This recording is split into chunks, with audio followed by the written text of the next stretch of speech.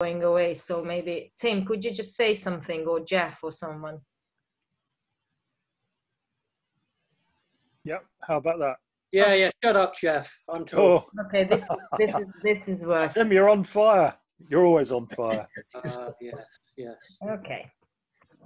I think uh, we are ready to start then. So um, let's just slowly and uh, gradually slide into the slightly more formal introduction and, and a huge welcome to all of you um, who um, uh, are here tonight. So this is our final uh, 2020 Center for Poetry and Poetics uh, poetry reading.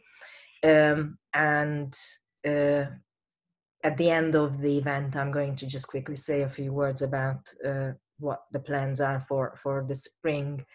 Uh, but but um, let's wait with that for now. So uh, uh, a very special uh, final sort of Christmassy or whatever festive festive reading. Uh, this is gonna be uh, as the final event with four poets who whom I'm gonna very briefly introduce in the beginning of the um, evening.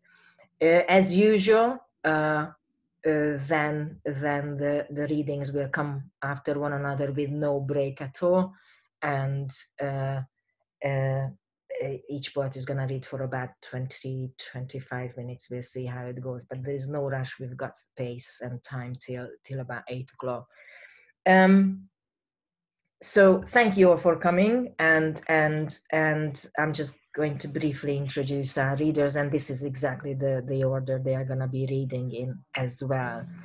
Um, we've got uh, perhaps i could say we, we, we've had this informal little chat in the beginning of the in the beginning of the um, uh, uh, the evening when when we all met up prior to to to allowing you to come in is that uh, I was just telling Adam how I met the uh, the writers. I mean, if, except Richard and Jess, of course, who, who I, have known for years, but uh, uh with Virna and uh, um, uh, and Iris, I, I met through actually Jeff, actually Jess via Jeff at an eclectic reading. Um, I think about three or four years ago now, and then all the four of them um, uh, ended up in in the anthology JT and I put together in 2018 uh, called Wretched Strangers. So this is a lovely sort of reunion with with the writers from from from the book uh, as well. Um, so to introduce the uh, poets, we're gonna start with uh, Jess uh, Pujol uh, Duran, who is a poet, academic, and translator. She writes and translates in Catalan, English, and Spanish, and edits the magazine Alba Londres. Um, she has three chapbooks in English. Now Worry, that came out uh, in 2012 uh, by Department.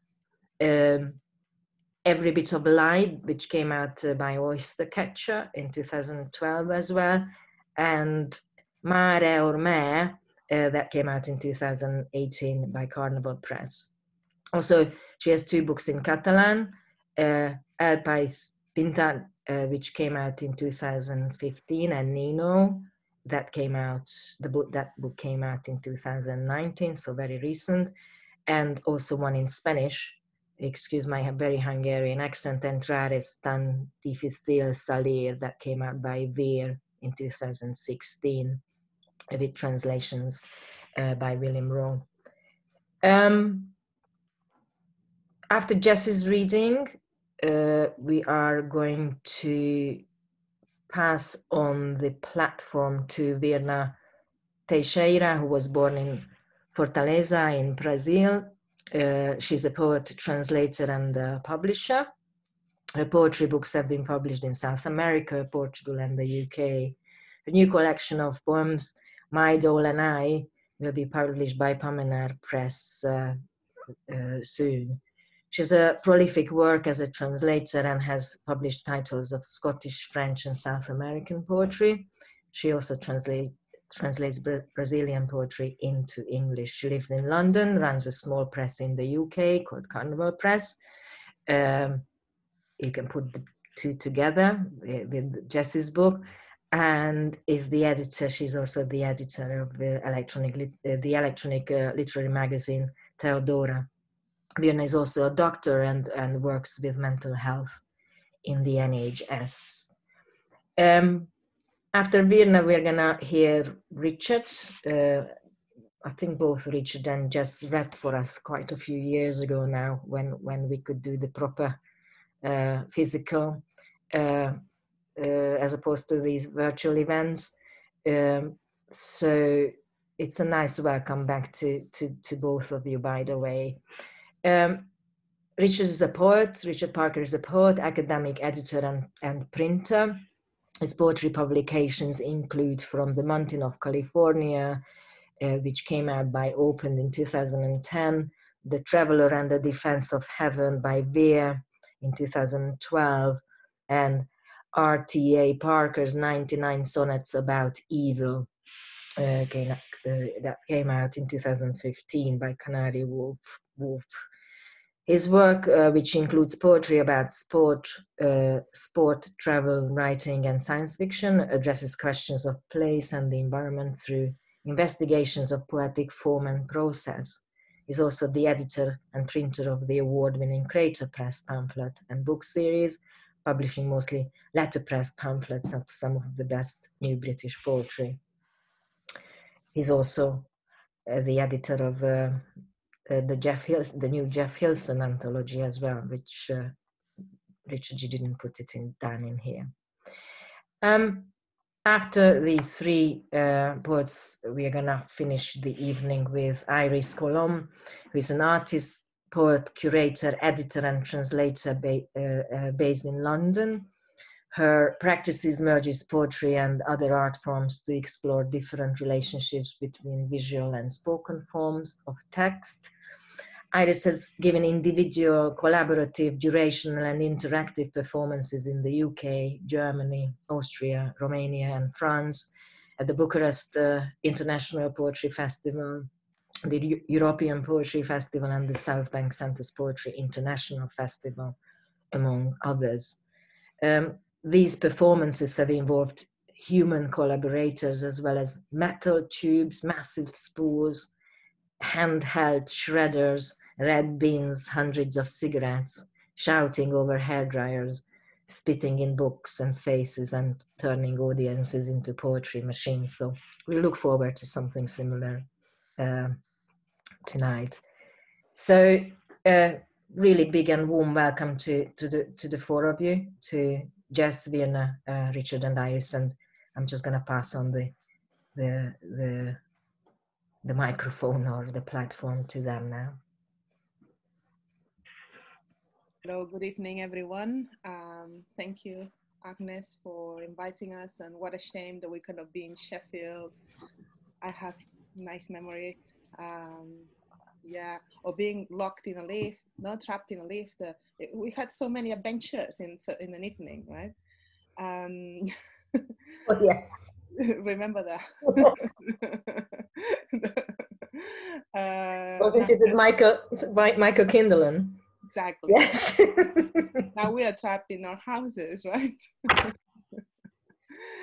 oh well. Um, yeah, thank you everyone for coming. Um, and yes, um, wanna read. Uh, have uh, around 20 minutes, and um, wanna read uh, three poems that are quite long.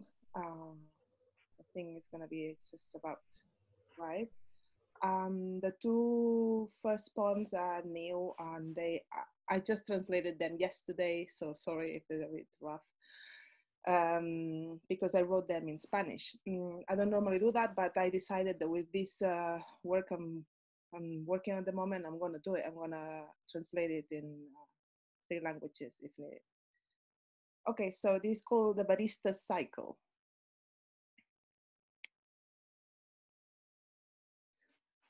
After the tube opens its doors, after the shopping center opens its doors, after opening the shutters and typing a code that opens the doors to my workday, with suitable shoes, with my name on the label, I access my position, turn on the machines, represent the choreography of gestures.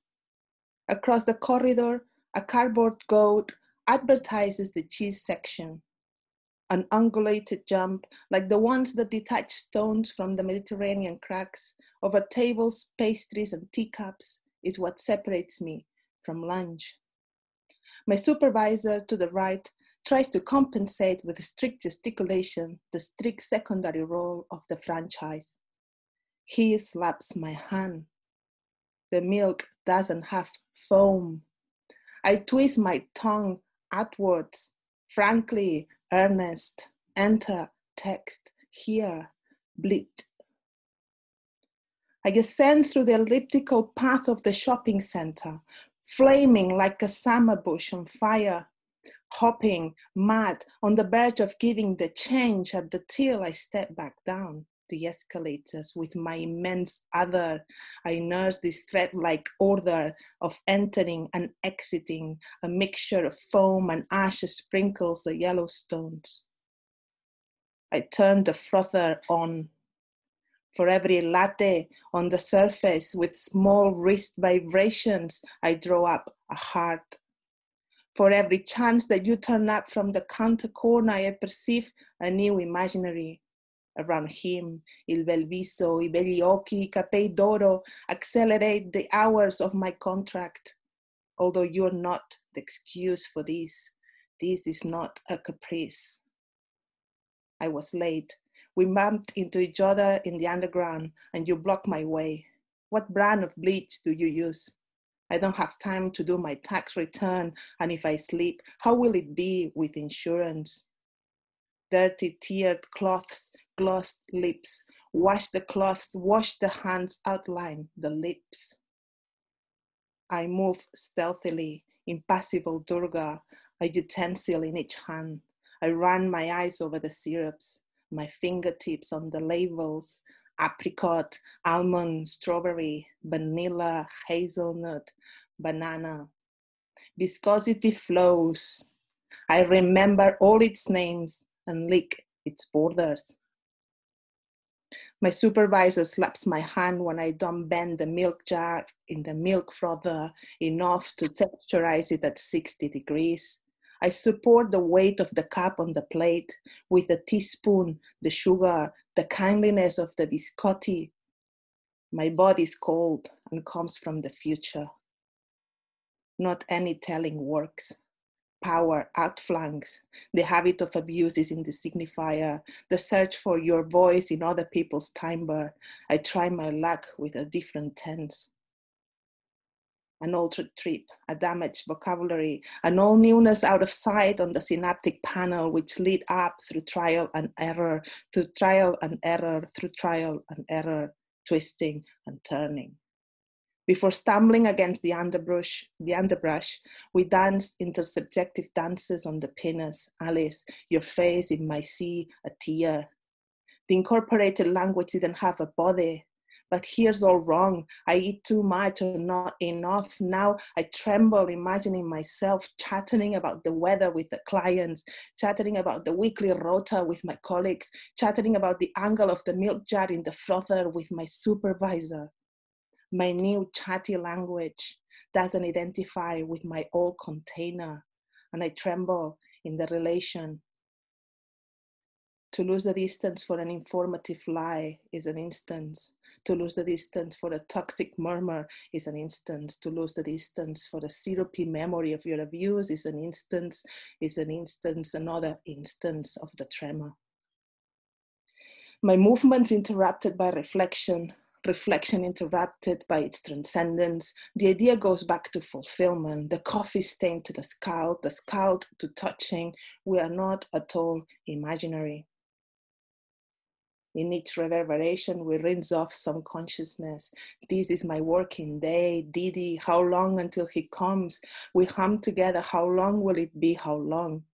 The journey of the hands is time consuming. My productivity locked into the prison of this imaginary bleach and syrup, a chain of concepts. Laura, how long? The bubbles on the chill surface exhale liquid air. Our smiles are superimposed like stamps on a loyalty card. The centrings that join our milky voles are colloquial. I turn the handle. Go, go, our evaporated dance, we hum along up, up to the payslip through the echoing ale.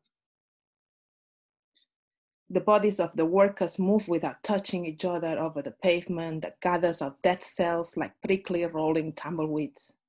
This is the Western of costume. Here, syrups, cookies, and pastries are branded flavored. Coffee is free trade. Milk doesn't have lactose. The voyage is lonely. I yawn as I sweep. Who cares if I finish now, comrade? We're being gobbled down by the futility of our shifts. I look for a job in the classifieds. In three days of training, you learn the basic skills. I am communicative. I went to school. I am available in three languages.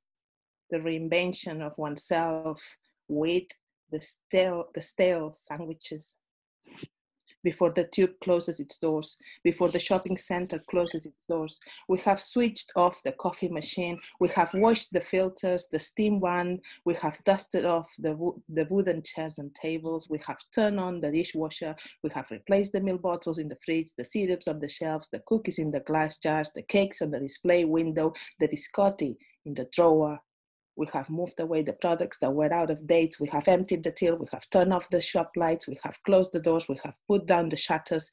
Let's go together to the staff room and do ourselves in the lockers. Name, footwear, ages, and step down to the tube, me inhaling, you exhaling the smoke of a roll to end up on the sofa where the circadian periplus of the baristas ends. The uniform without tag is drying, hung in the bedroom. The leftovers from dinner are drying on the plate. The laundry holds the air in a plastic bag. Question how long? The enveloping field go- grows with impression of the not named, in and outs in the warehouse, physiological translations. A fox crosses the street with a sandwich wrapper. Let's try another tense, test that doesn't end the relation in the dream an altered journey, a change of tack in direction to oneself, a more adapted version to the circumnavigation that frames our horizon, a parable that no, no return ahead as she was, how was she, how will she come back as she was? I don't know, myself. I can't remember. There were four points that needed changing in order to become as she should be. Mainly, I remember now, these were the points. One, two, three, and four. I analyze them while I was enumerating them, and I agree with myself. I nod to myself. I change what's necessary, was inevitable, another subject I would dare to say. Formerly playing on stranded vessels by the beach, she should present herself on a gleaming boat at her return. She should be like this from now on and until future change. Familiar jubilation, the shatter opens. It's 6 a.m. This is not a caprice. And I'm gonna read the second one that is called uh, Death. Uh, thanks, yeah. death, uh, death, ang- ang- death angles. Yeah. Here in the department store of the shopping center, getting ready for possible adversity, layers of glowing plasma emit sensitive solutions. I stop in front of a one brand seller in the panoptic indecision. What flowers puppies children on the beach to buy? In the filtering of images through the retina, the bright colors of the tendencies, tende, tendentious stats of price comparisons on our crystalline lenses press our reptilian switches. I stick my acetylate tongue out. I put a mint on the tip and lick. I'd rather not, but somehow I wanted that someone would want to convince me of something. So I dared. I turned on into an object, and both me and Santiago exchanged opinions for a while about the functions, the menus, the inches of the screen, the sensor of movement. I wanted to know I'm here always. It's easy to use. I personalized my style with my finger, and now I watch and discover what happens in parts of the earth that I had never heard of. How would it be without this hormonal disorder, without this solution We carry the screen upstairs where we connect the electric circuit, blood clots on our calves. Our illuminated future, the deterioration of particles to nanoparticles pass like waves in the movies, the taints on our eyes, dead angles of the system, fish and birds from the Pacific test the truth of the program, its vulnerability and fatality. Test that doesn't end floating with the rest on the ocean. We are told by David Attenborough here on the BBC. Here we are ready. Do I have time to read one more or shall I leave it there? Yes? Okay, I, I, this is the, the one published by uh, with Crater, translated by Richard, and I read it once in January. It's called Enveloping Field. While fleeing syntax suffered normality fade, the happiness and structured with elements of the continuum of mortars, Watch me as I shined the crystal. It wasn't the first scene, nor was what followed. The symbol came too late from my eyes. The image of the enveloping field, which includes us, even if you disagree with the proposition, while the question of what to do with the impression remains. Warehouses that angles out of the system, transported from beyond, wrapped in scarves so they don't break down, and you eat them Although you've been told to press the buttons all night on your palate, your tense tongue seeks to bite everything. And no orders, no improvement on the metric system. Don't click the links, neither a model nor mannequin nor correspondences, and not the invasive image that you are yourself, a tremble, imagining me and callous or celebrated is the continuum of yourself and the experience of that which is imposed oil on the door hinges of the apocalypse, test that doesn't end the ocean in plastic, pass like the waves in the movies, microparticles the flecks in your eyes, a test that doesn't end. At bath in the contrast of waste and not at night, the field includes us all Chance brings to mind the black envelope, the impression that the store revives a memory, green grass in contrast with darkness. When I was closer to the insects, the diminutive of honey, I was very here, as in this hug. I remember it and share your intensity as we break the polypeptide chains. The wells take the other side. It is revolutionary love of the hormone which rises through the stagnant water against the ordered order of production. Our future shakes up from the oil up out of the dining room, wraps us up, the mother load.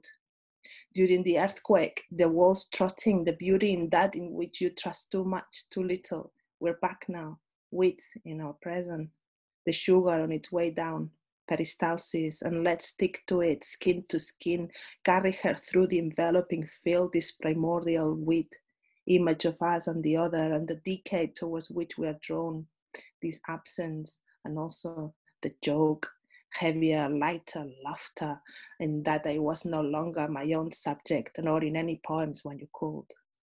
Blank or in the bank, I was working out the dates for the holidays with all the creatures of Hades and how to accelerate the rotation of the earth to the car park so these areas of Thanatos in retrograde, we feed the reason indignant. Let's go, comrades, and paying mercy's tears black, intoxicate ourselves with tar, scooped up from off of the beaches of Spain, to stick us red with feathers, as against the black rooster of Congress. We defined it, we know each other and our limits. Let's repeat then the sacred ring, the rising holy toad. Everything is okay. Freedom sings and falls and sings. Thank you.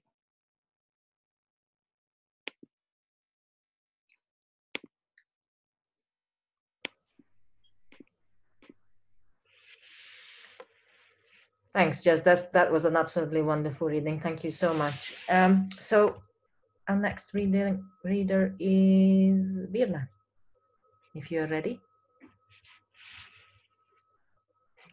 Uh, could, could I be the next one? I'll explain why. yeah, yeah, you are the next one. I mean, after. Oh, absolutely. Uh, Richard, are you? Sorry. Sorry, I'm at work. no, it's totally cool with me. If if Richard is is is okay with that, if not, otherwise. Uh, well, I, I just need to get my. I just printed the. Totally I'm fine. gonna read because I had lots of No unpredictable. Or, or Uh, if you if you can wait two minutes, then I. Yeah. I can wait because it seems like Richard is not. Okay. I So just just a second. Exchanging the um, resp- duty with a with a baby or toddler rather. But by the way, Aggie, just in case some people might try to get in who I don't think they may have registered, I just, they know the readers and I just sent them the Zoom. Uh, uh, I'm looking at the the queue. There's no one wanting to come in at the moment. Um, Cool. But thank you. I, I'll I'll watch out for them. Thanks.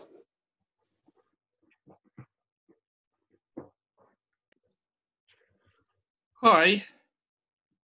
Um, hi, Agnes. Are you ready for, for me to read now? I think so because Virna's gone now to pick up her poems uh, from from a, from a, the printer's room. I think she's reading from the hospital actually. So if you're happy with that, Yeah, sure, we can go for it. Um, I'm going to try this. Not sure how to.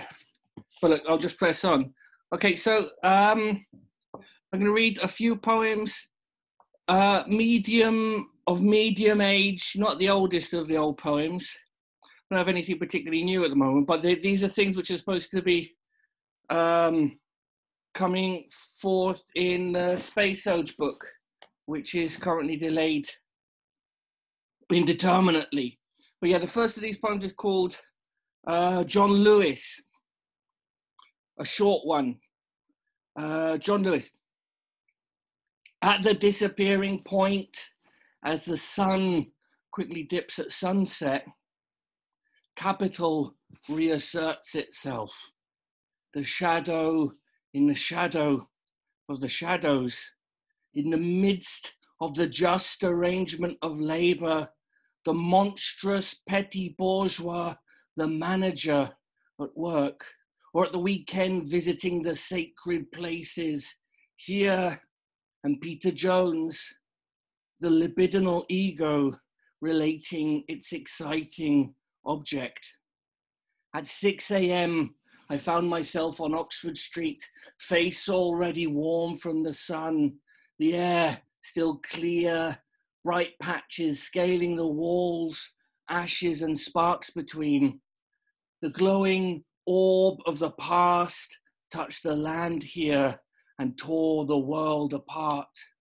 And now the glowing orb of the future turns on its axis, the glowing orb of the future lighting all ways, dispelling all shadows.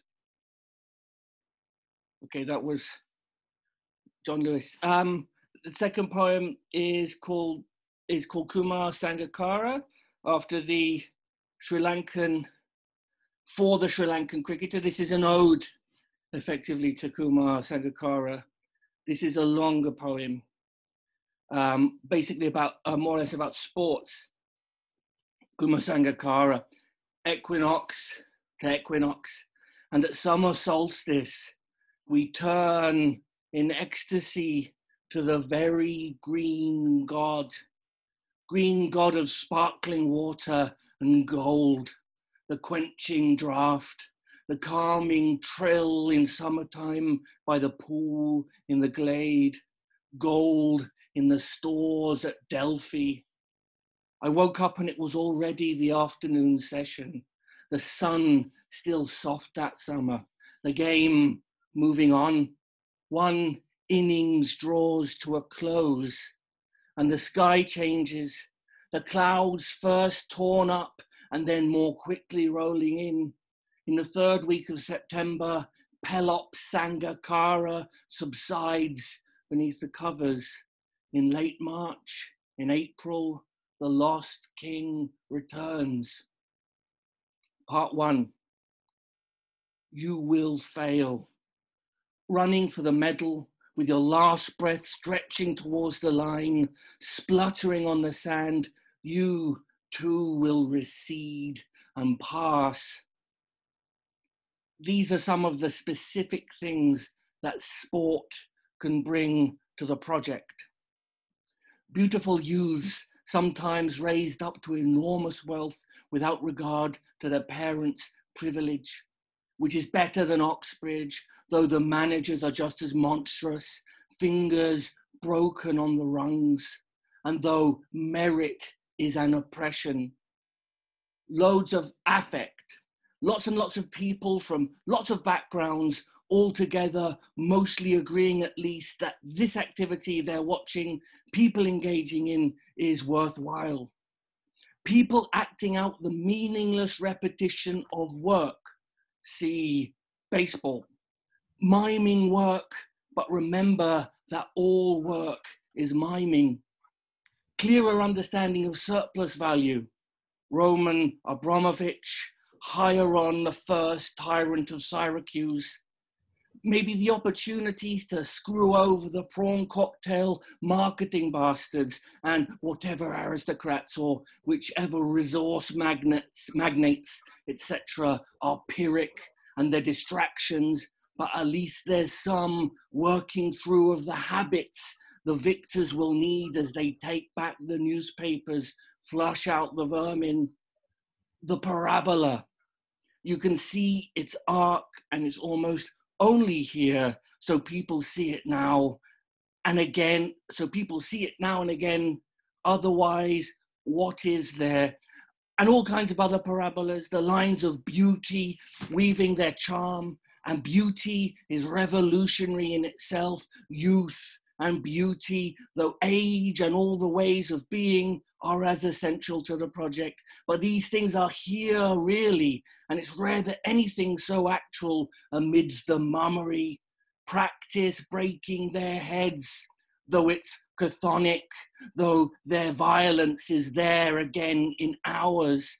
It shows us how obscene official gender is in this place at this time, exquisite Pherenikos and his numerous advantages, a woeful depiction of racism in this place at this time.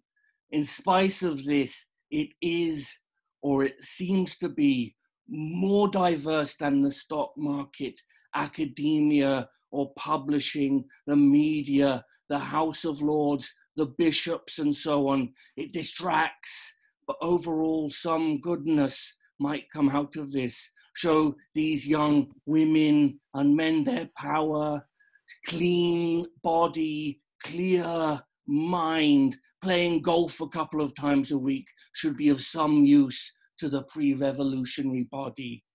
But watching it or getting too into it ends up a distraction the acting out of the dialectic, satisfying the instinct for struggle and stifling that which you might call the real impulse.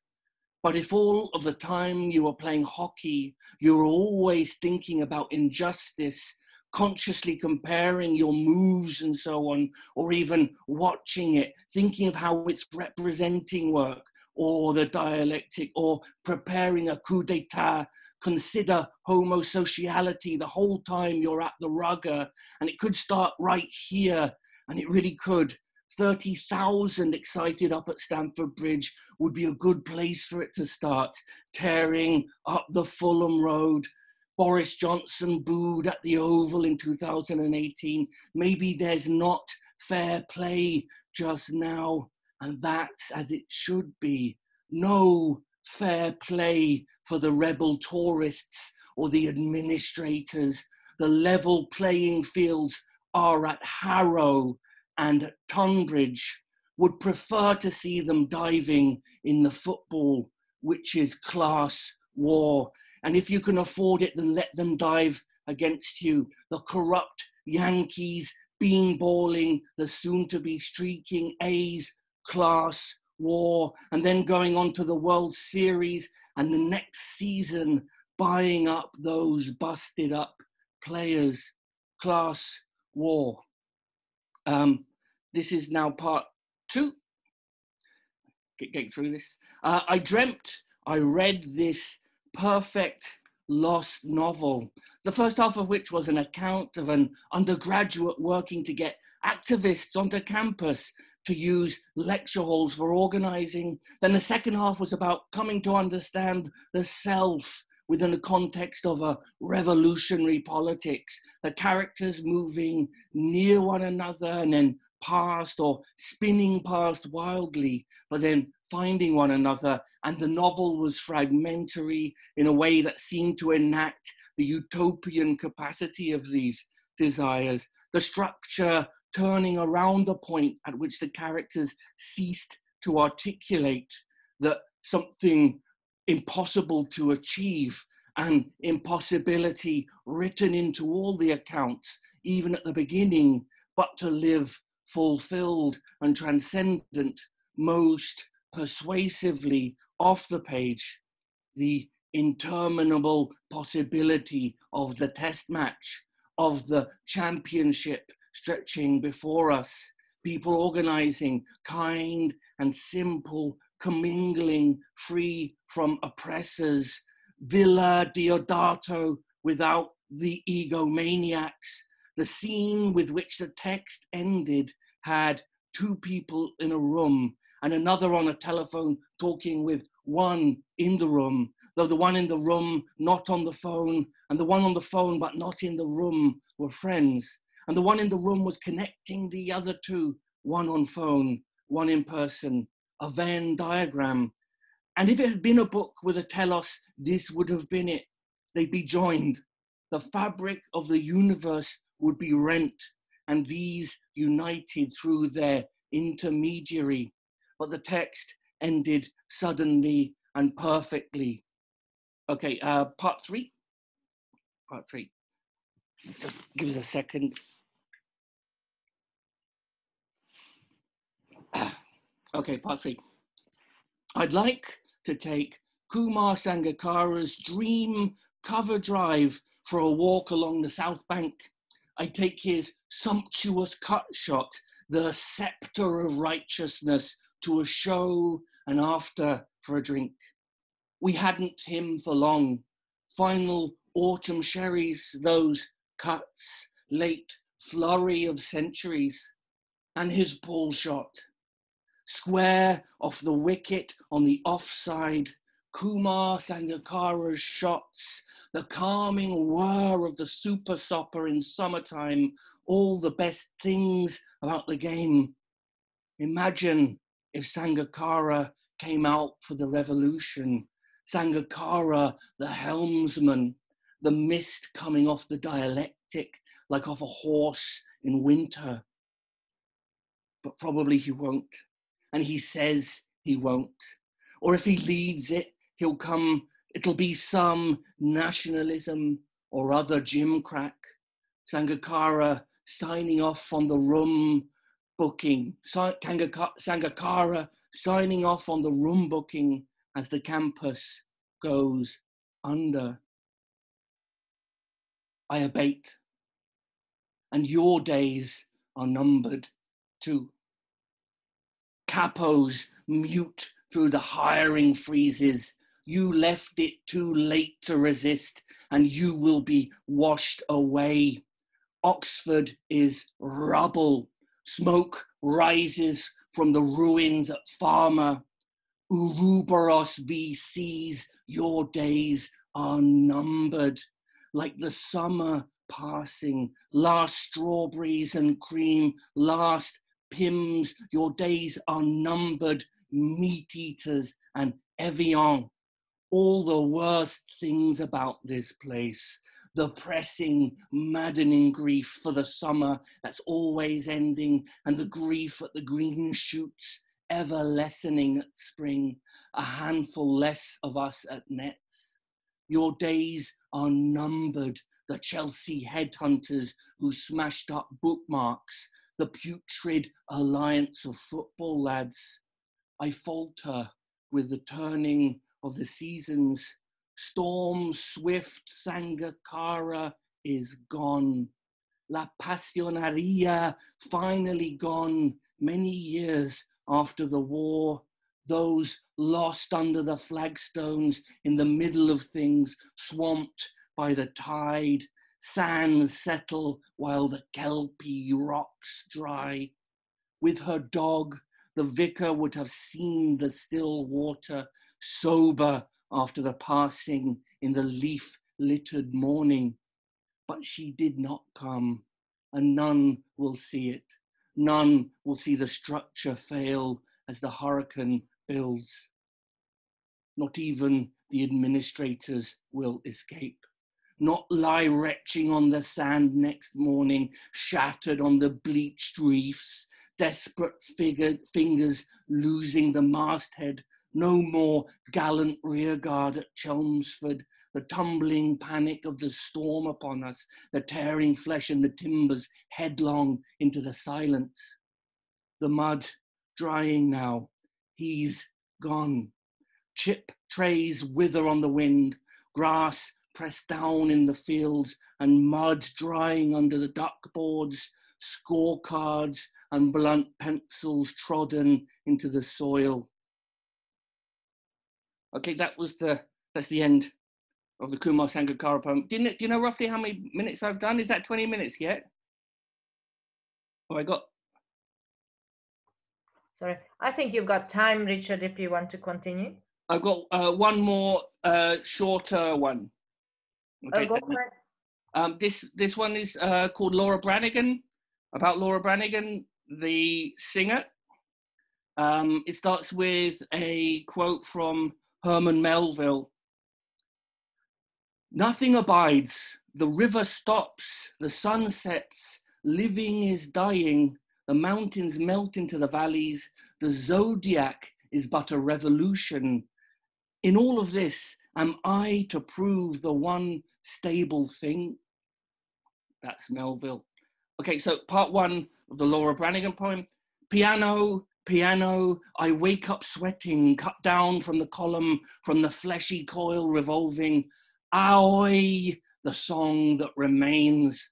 For all those suddenly dead after long misery, expired under a stone, assassinated while on trial for corruption in Valencia, for those who died unnecessarily under homeopathy, for the billion lambs upon the spit, the cricketers who killed themselves, those who accidentally got out of the wrong side of one of the old trains into the path of another train, or thought they saw a ghost of their future self and jumped out between stations, or feared exposure and hanged themselves, or died alone.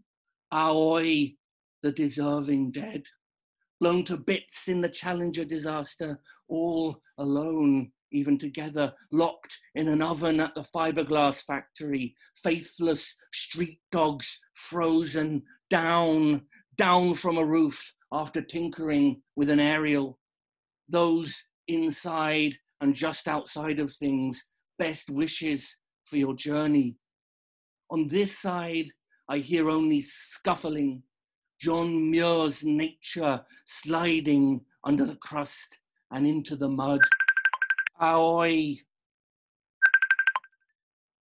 think maybe this is someone calling Jesse.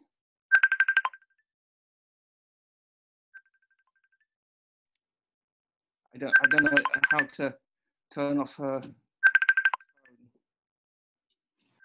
Turn this phone off, Jesse.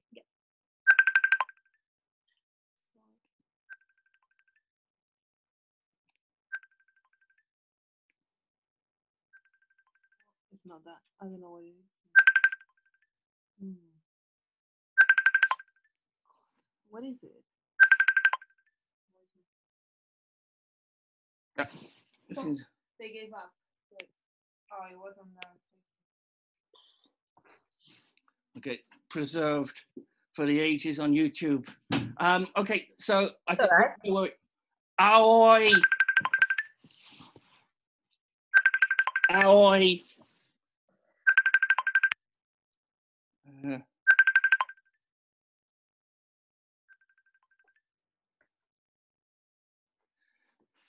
As if events were knowable.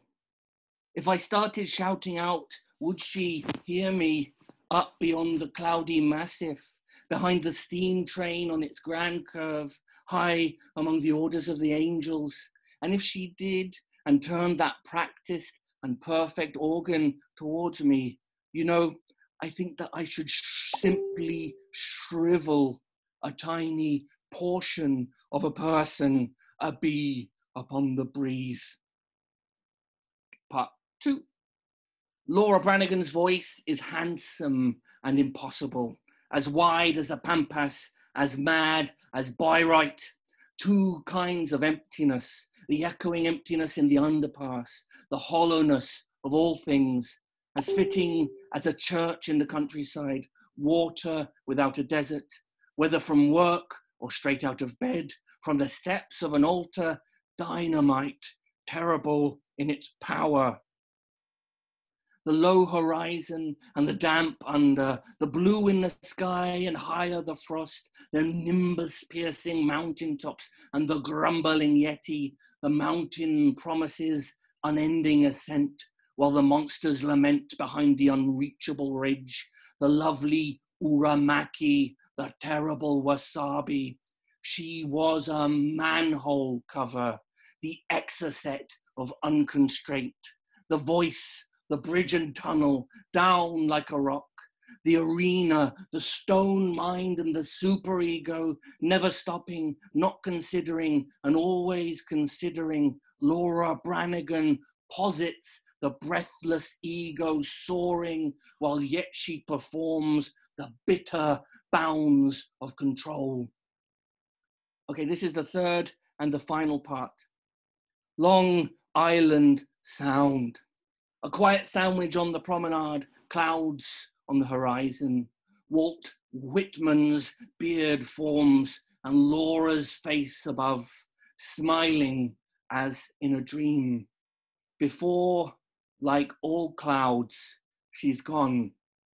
Beauty will lead us to sympathy. At the turn of the stair, softly like the circling swift, the loud but secretive wren in its bubbling absence flies above the wind but cannot rise. The late triumphs at Viña del Mar, feeling a little softer. But in the evening on the recliner, the divided world fades, the shock of loving mellowed, the cool Pacific, the marine layer rolling in as the seaborne laser show comes into view one last time. Bee wavering towards the hive, the autumn coming and the work done. I'm a bee buzzing home to die, the queen ready in her cage for winter. The sound, the sandwich, the bee, all waits for the right voices.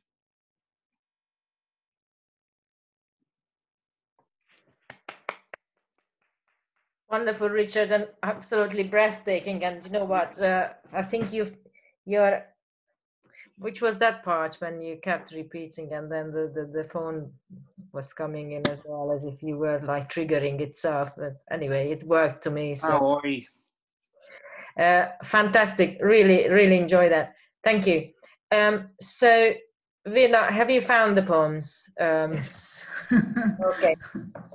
So, yeah, so uh, yeah, I'd like to apologize because I had lots of um, unforeseen um, things happening today, and um, I'm I'm at work. It's going to be interesting, a kind of live performance from the NHS. so I'll read some poems at the end about my about my work, uh, and I'm going to start with poems um, uh, of my new collection, which will be published um, by Carnaval Press. It's called uh, My Doll and I. So it's um, the doll is like a double transvestite and is like a puppet. So I kind of dialogue with this doll in different clothes, and so it's a bit there's a bit of a surrealistic uh, flavor. And okay, a face new, unexpected, eyelashes of a drag, makeup Bauhaus styled. I have fun, double doming with Justine, dressing you up in your burlesque costume. Thus, you turn into a gracious and graphic dame. And how many layers has this evening, shiny as your collar of a mysterious devote, so silent, hidden behind the eyeshadow's shades.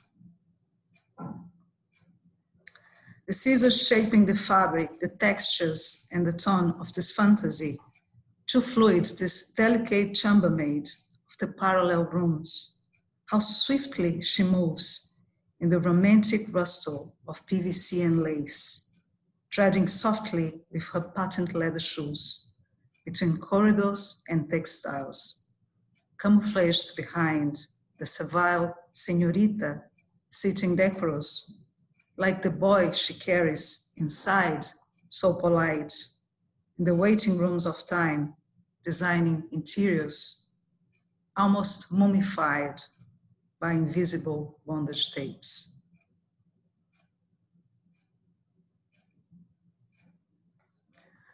I pass by the club wearing a balaclava.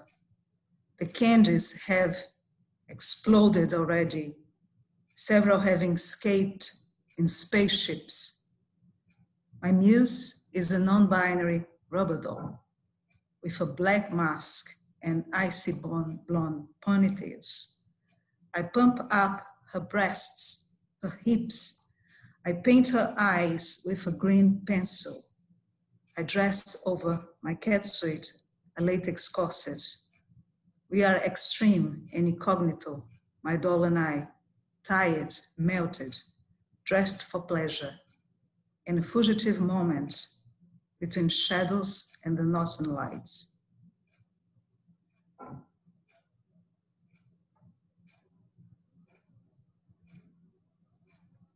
Your dream of going to the ball in a black swing dress with red polka dots.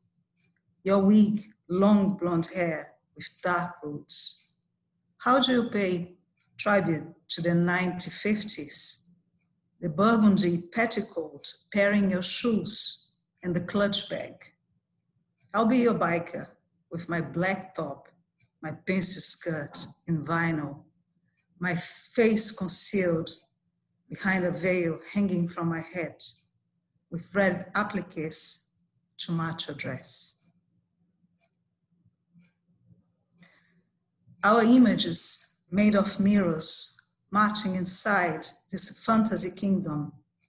I lead you with a medieval corset with brass buckles to protect my chest. My petticoat is fluid, my boots are patent. You are astonished smiling with a full circle red, red dress, the Alice band holding your gray blue hair. As you cross the ballroom of your chimerical castles, fetishizing the female body in fragments of imaginary lands, tied up in dreamy costumes. Here is the doll with her silent presence, molding the form, I manipulate her body in impossible positions, deconstructing boundaries with her torso, trust and potent. She is my puppet. I pull her strings in distorted projections, blurring fiction with commands, sentences resembling a body with double perspectives. I changed him, her into a doll. I changed myself into a voyeur who sits and watches.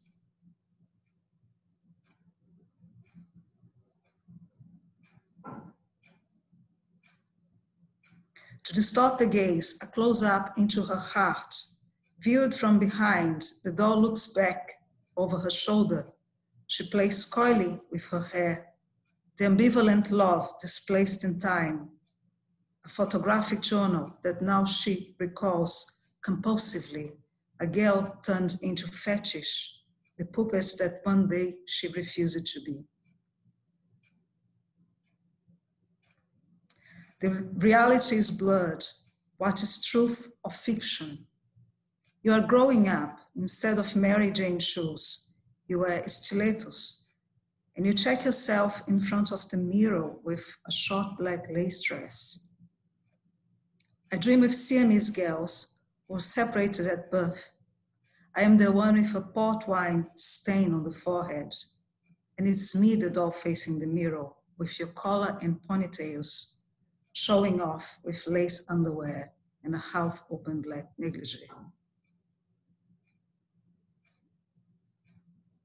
I had a lot of fun when I played with my rubber doll, but our costumes have ripped off in unsuspected places. What could I do with her dismantled members, with pieces of plastic, with her inhuman skin? Then I mended my cat suit. I wore her mask. I became a cyborg in her absence. And I'm going to read some poems. Um, I mean, interestingly, reading from the NHS. This, um, I work in an eating disorders unit, so this poem I wrote about a, about a year ago was close to Christmas, um, and I've, I've been working here for more than a year. And then I'm gonna read another poem related to my work and a couple of poems I wrote um, in lockdown. Avoidance closeness. When he sent her message, she detached. Say to her this is decision we've made, what she misses during snacks. We'll give her bowls of compact. Some are wearing Christmas jumpers, the woman with long brown hair and funny tights taking notes. A journal is neat with symmetrical notes. Why are you afraid of completing your meals? The last episode frightened me. The dream where she was swimming in a pool during winter losing control of restrained emotions. Scenes of Dark, Regina Tiedemann's blouse, the black background with feathers matching the earrings, fight or flight. Intimacy, anorexia is your comfort zone, but you binge eventually, secretly, walking through gloomy corridors with floral armchairs. Confabulation, they sat at the infirmary dining table for the meeting. They wore masks, gestural movements. Is the language of masks intransitive? She doesn't remember the accident. The hippocampus was injured at the beginning of the pandemic. Sitting at a table without a mask in front of the staff, as if she were naked and vulnerable, her mouth and nose exposed, the covered faces seated at geometrically precise distance, are fixed on her. Her perplexity is not neurological, it is real. Is this a bad dream, kind of inquisition? Anterograde amnesia dates me nothing. There's news about this virus everywhere. She wants to go outside to smoke. She doesn't remember being admitted.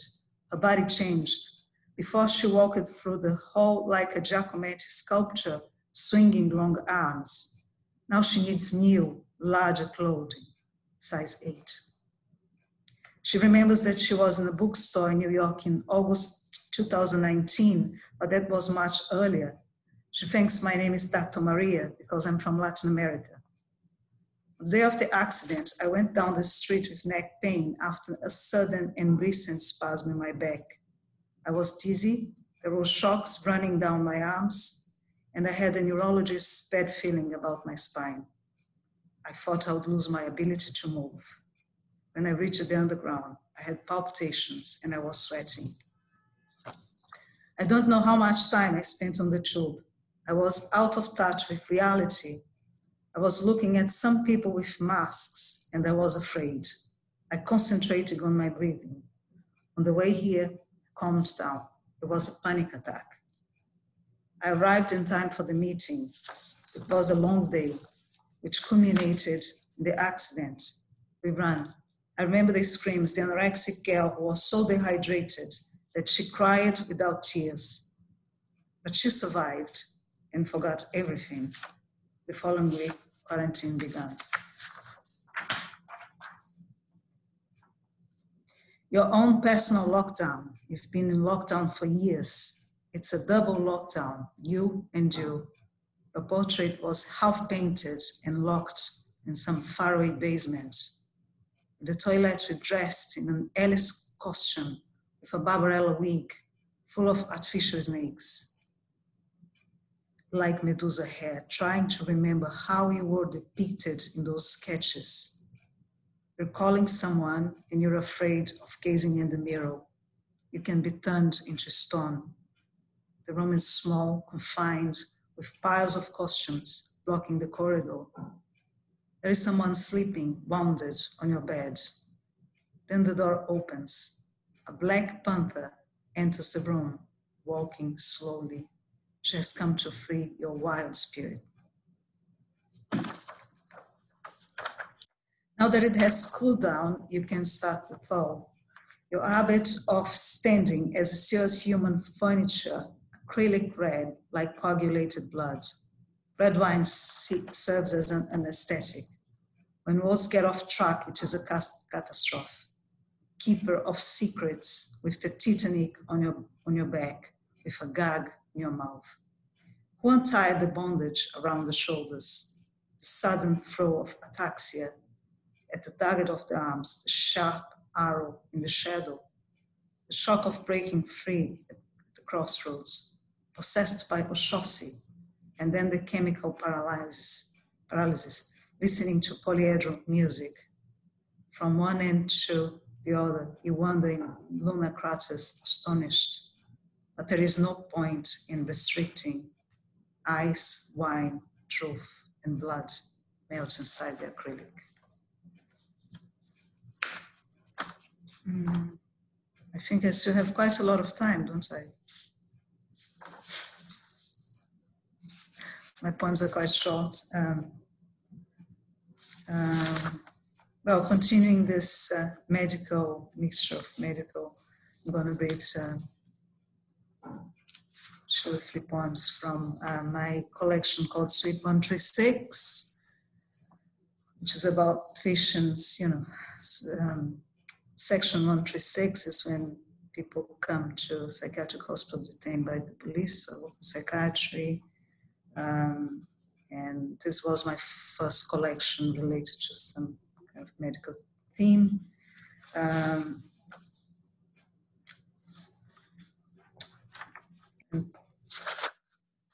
actually, one of one of the poems of Suite 136, uh, one or two that they're in the anthology that I mentioned in the beginning,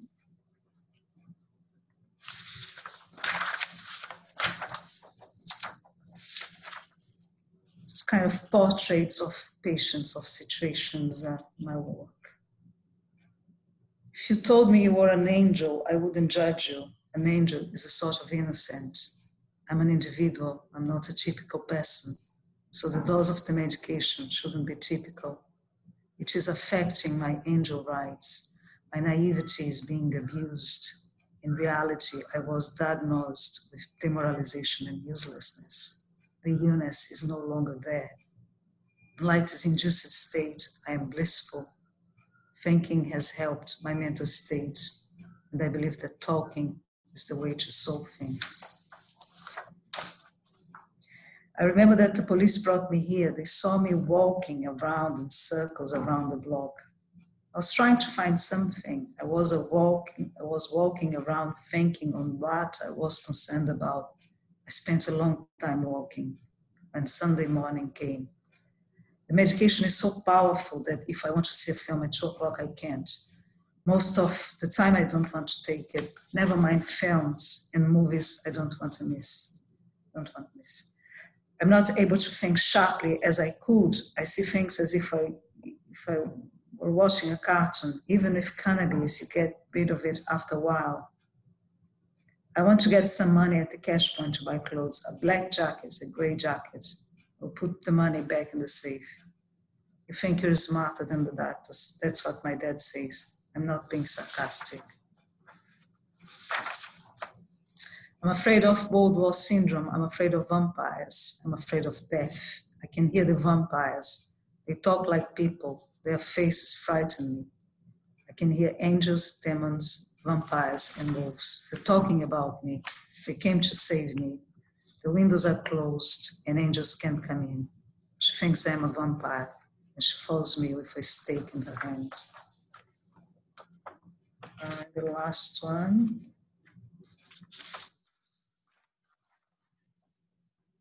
You're dressed like the project, project Monarch or. I won't tell you more, miss. So you think I am a neuroscientist sex kitten dressed in animal print? Maybe you're right. Psychiatry is just a technique of mind control. Science, a narrative delirium based on evidence. I do feel for your somatic delusions. From femme fatale to junior doctor, can't give you leave. Are you going to report me? Are you offering me tea? You move so quickly, you are so stylish. You're the hipster of the wars, the great traveler of the public transport. Then you trip on the Thames path with a hidden drinking problem, you come back bleeding. Thank you.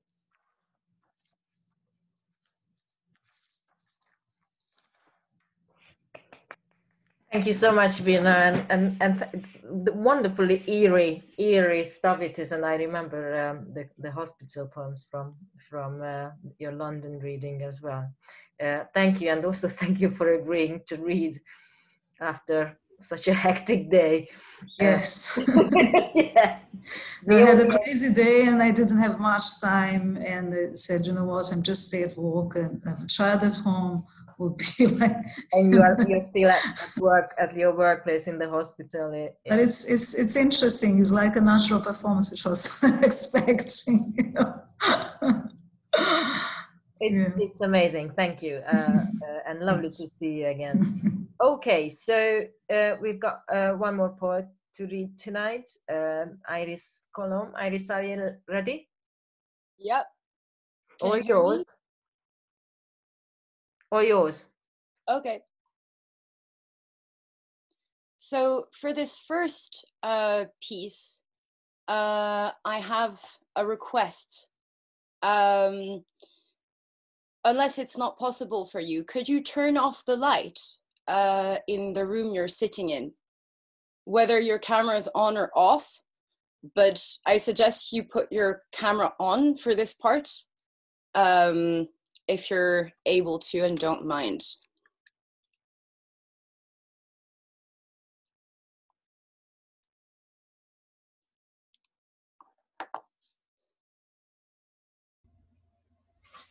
All the lights. All the lights. All of it. Okay. Yeah.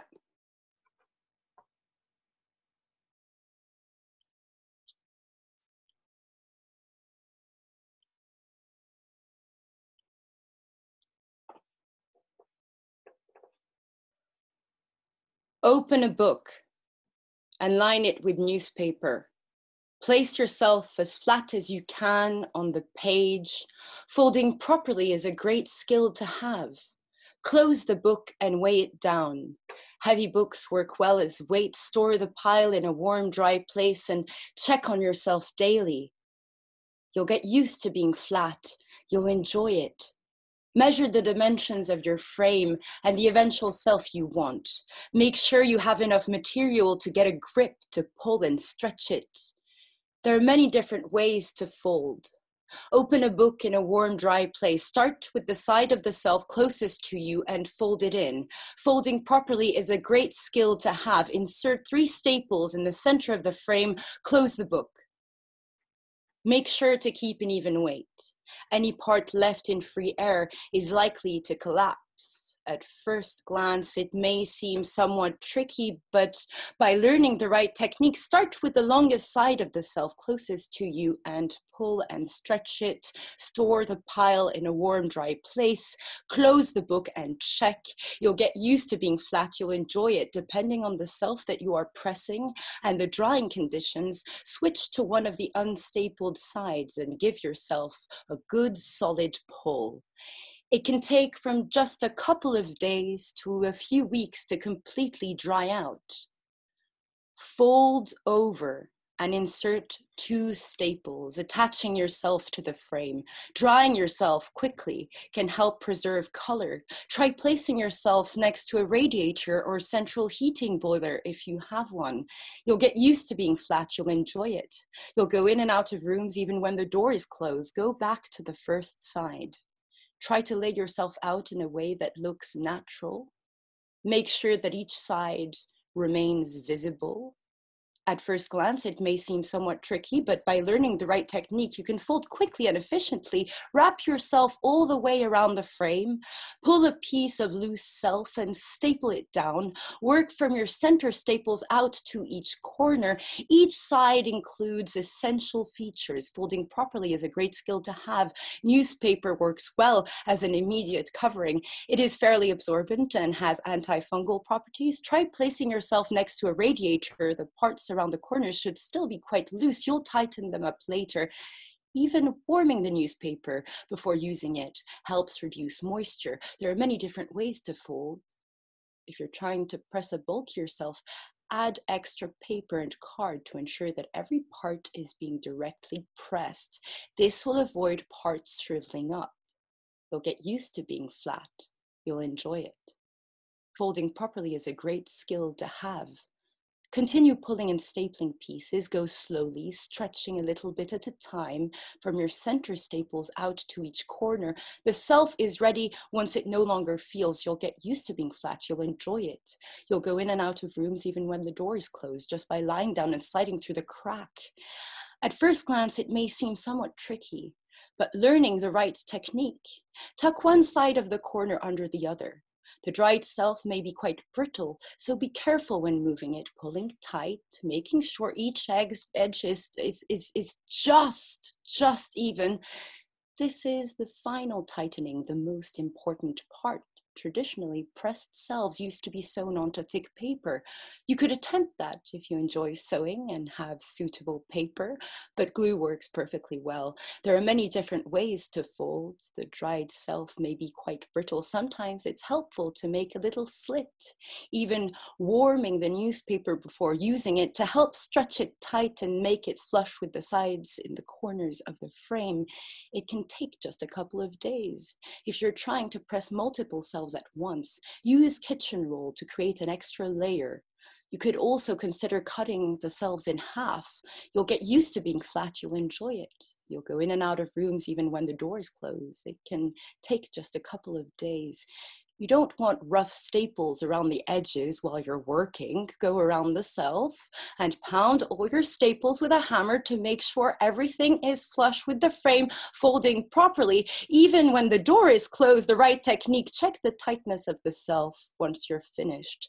Flip it over and tap it with your finger. It should sound like a drum and feel quite taut. Close the book and weigh it down. Heavy books work well as weight. Store the pile in a warm, dry place and check on yourself daily. After stretching, it's important to let yourself rest. Not all selves are easy to press. Some take a long time to dry. Some tend to spoil and crumble. Once the self is nice and dry, you can carefully remove it.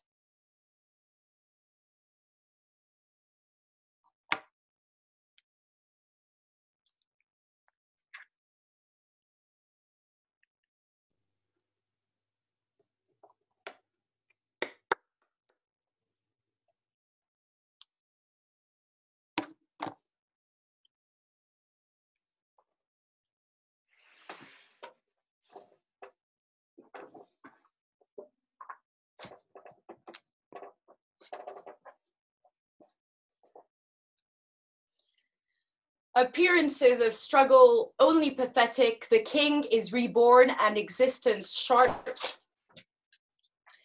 Eternal calumny through the series, the music which comes rarely giving. Live, laugh, laugh, and then the damned without making or noticing favorite. Was the invention denying the text no years in which refusing to leave? No writer extremely because of the sea, perhaps, perhaps to associate.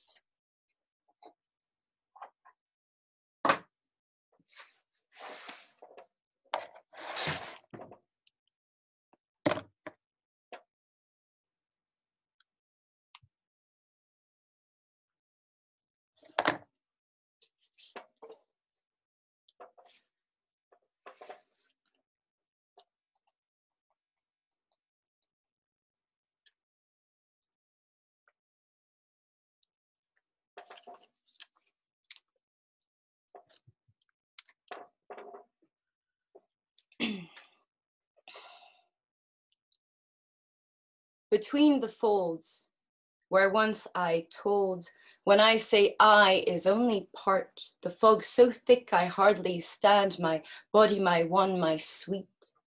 I'll remember the name. I gave it, I asked. My three palm bleeds are three palms deep. When I say I is only part, it never does quite dry. My one, my sweet, my only sleep, I'll say it as I dive. The fog is only hardly one, a shiver once I light. And yet I did, I gave, I left, palms to fold, to keep, I lost. Back where I stood or last I tried, what if I find it, what if I break? Dim lit morning, back of the throat, one sliver short, one take. What if I find it's only sleep, hold still, sit tight, sigh till it lands, my peace, my peace, my horror too, it never really dries under the fog I lent, how light, how light I lent I once. It's only sleep, my darling one, so sweet, my palms to peace. What's mine is mine, I will not trip. Always a joke I cannot fix. If there's a will, I'll frame it, I'll pin my one, my only, my sleep.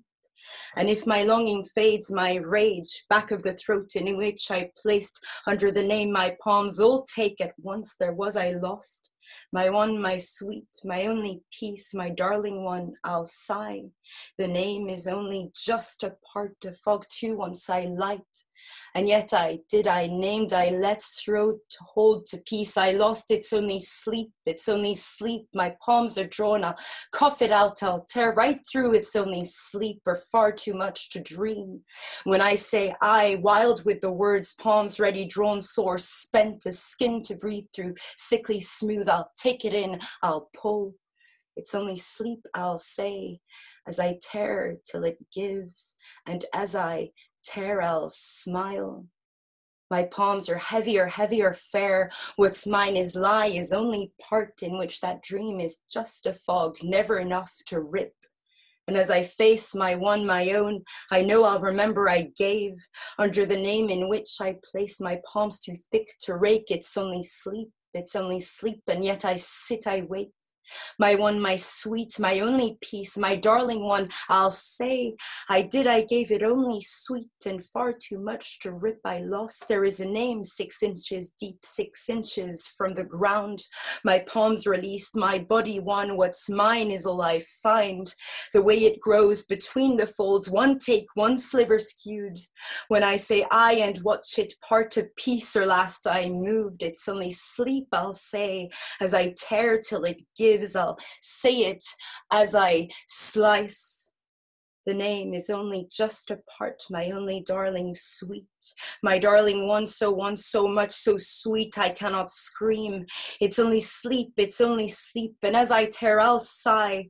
Though fog is only hardly one, I shiver as I light and with my heart just a piece, an inch or two to spare, my palms to crush her, if I must, with all the names I'll stand. Under the fog I lent, how light, and yet I won't I land. It's only sleep, and yet I sit, how could I let how light? To rip my sleep out through the fog, what if I find your last I froze? I cannot spread my palms collapse, it never can be both. My body one, my one, my own, as only sleep can fold. The name is only just a part, an all I told. My one, my sweet, I'll say I'll heave, I'll say it as I land. It's only sleep, my darling one, so sleep, I'll one, I'll heave. If there's a will before I trip, I hardly feel the weight. Without a name, what I would give, without my palms to break. Morning slipping off the ground, my body sickly smooth. Would I, could I quite so light my body once removed? My one, my sweet, the fog can't keep, I'll say it as I smile.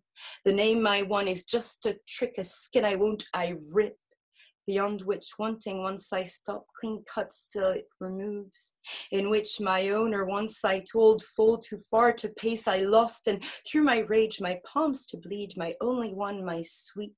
When I say I is only part asleep, I cannot dream. My one, my own, though once I fold, I'll say it, I won't break. What if I find my horror might a skin I cannot shake, in which my palms I while I tear, I shiver at the sight. It's only sleep, my darling one, asleep to peace I'll heave. My one, my sweet, my so my sleep, with all the words I'll make. Only this once, my willing peace, a name, it still it shakes. It's only sleep, I tore, I told, hold still, my one, my rage. What's mine is lie, my body might, a skin I won't, I hate. Between the folds, where I still hold, I hardly feel the break. When I say I is only part, a name is all it takes.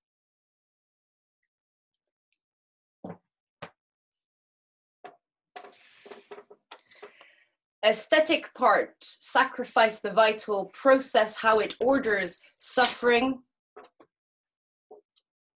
Closer to the gesture the discovery of not even an object in the beginning. Petrify the bloodshed against the tongue. I am swamped to compromise this gesture searched every moment he doesn't see in the afternoon, and I had doubts.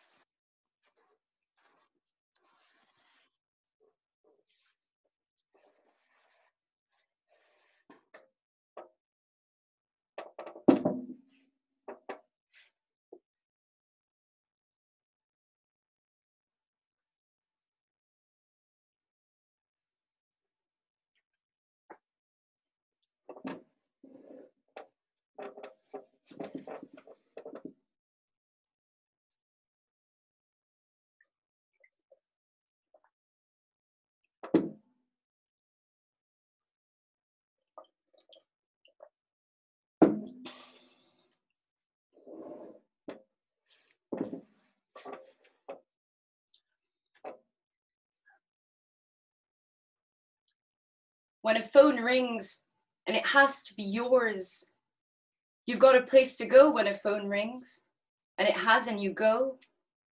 When a phone rings, you've got a place, you've got a place and you go and you come home. The lights, the lights are out and it's when a phone rings, you've got a place. You've got a place to go when a phone rings. A phone rings and you go and you come home the lights the lights are out and it's and it's too late for home and it's not yours when a phone rings and it has to be yours. And it's that guy again asking if you're gonna fuck off fuck off without without saying without saying this time when a phone rings and it has to be yours. And i'm not ready but you are. And that is really all it takes when a phone rings and it has to be yours although it's never you calling to say when a phone rings and it's not yours and you're not calling and you won't say and really really who's to who's to say? These days when a phone rings although it never does and now it's not is not it's time not time. It's just the weather the weather these days these days these days these days days. Days falling out days when a phone rings days falling in days and it has days to place and days to keep and days where it won't be today. Days in between between those days days to call and days to wait and days and days and days without days to skip and days to spill and days beyond the days to follow these days not to go to stop to stop when you stop days stop stop days stop you stop you you hang up. When a phone rings and you have crashed a car you never owned, and you have lied a lie you never told, days which can't account for you, days you wait for without scope, days you long for just to cope, or days to play between those days, days to fall flat, rip out, fall back, days to get, get up, get up, get up, get up to days, get up to days, get up to days again, days to remember, days to remember the days you tried I couldn't see, or so still too much between days to fall back on on those days days you still days you could days you could take. And don't days spent days spent days trying days waste days trying to waste the days when the phone rings.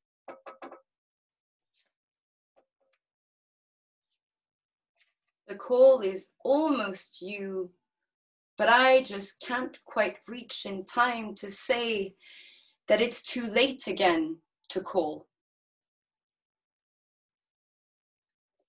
Days without reach, days without grip, days where the light goes can't. Where is my invoice? Where is my day? Where is my day within your day? Where does my day start? Days checking days or passing days, grasping for days and other days and days to watch, just checking you received my last few days, days of running out of days and days and days and days to drown when the phone rings and it has and it has to be you and it can, can, can, certainly can be you again and it is when a phone rings and it and has come up, come up, come up for days again, days to count on days to count as they or days I do forget. Is that today? Is that today? Okay, okay then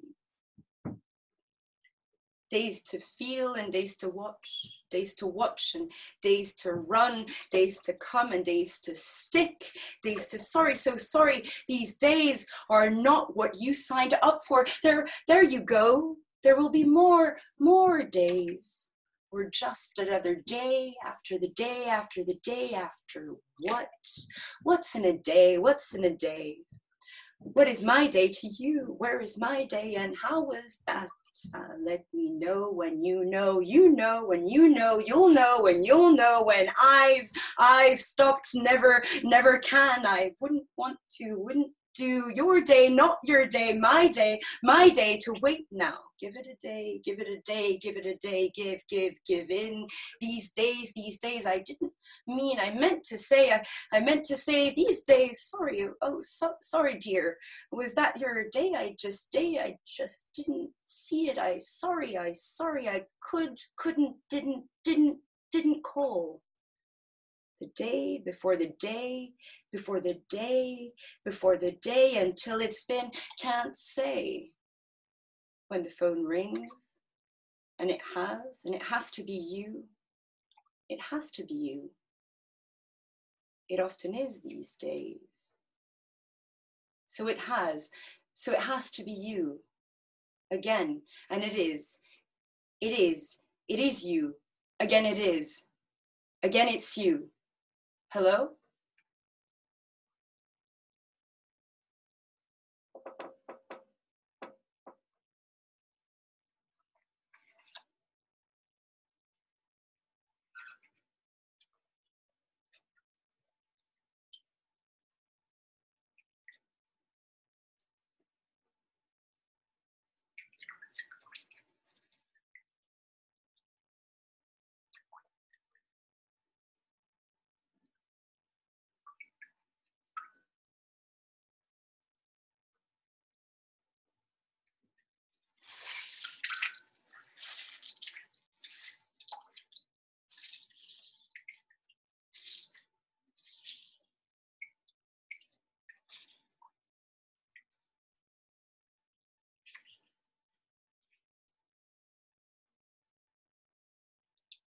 Thank you so much for listening.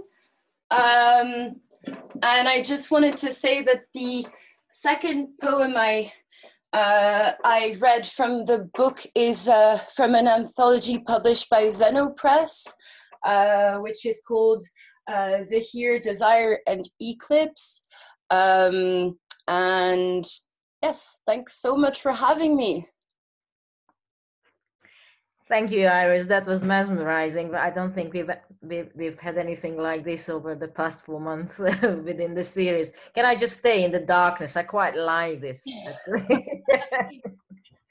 uh, brilliant. Uh, thank you so much, and uh, lovely to see you again. And thank you um, uh, for all the other poets, uh, Virna, um, uh, Richard, and Jess uh, for the reading. I'm going to stop the recording now.